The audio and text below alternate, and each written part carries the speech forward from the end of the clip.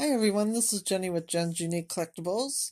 This is Artex Colors, but I had just done a similar one like this with Trichem Colors. You can check out my other YouTube short and see all the goodies that Trichem has. They have way more colors than Artex did back back in the 60s, 70s, 80s. Anyways, my mom would draw or trace circles onto the Pellon and then she would color them with whatever color or number matched what she had.